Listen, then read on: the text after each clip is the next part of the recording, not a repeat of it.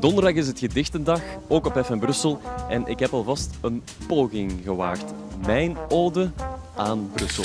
Ik zocht een lief in Brussel. In Molenbeekse steegjes, gestreel en wat gefrutsel. In parken nabij Ukkel, over Anderlechtse pleinen. In cafés waar ik wil verdwijnen. Een traan boven mijn bier. Was mijn Bruxelwaze hier? Ik zou haar op de schoot nemen.